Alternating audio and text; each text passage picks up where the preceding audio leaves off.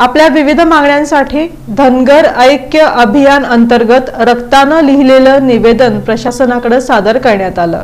पुण्यश्लोक राजमाता अहिल्यादेवी होळकर यांच्या स्मृतिदिनाचं औचित्य साधून धनगर ऐक्य अभियानांतर्गत राज्यातील धनगर बांधवाच्या वतीनं आपल्या विविध मागण्यांसाठी रक्तानं लिहिलेली निवेदनं सादर करण्यात आली.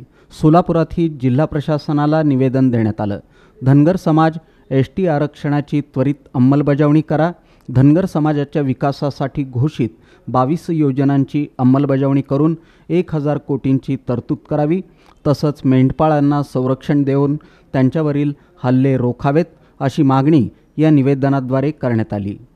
शरणू हंडे शिवा पुजारी संदीप कांबळे शिवानंद पुजारी अप्पू पुजारी साई पालवे विशाल पाटील लक्ष्मण तरंगे अनिल पांढरे शशिकांत पुजारी सागर सुरवसे माळप्पा नवले शुभम माने पांडू जरक आदींची निवेदन देतेवेळी उपस्थिती होती.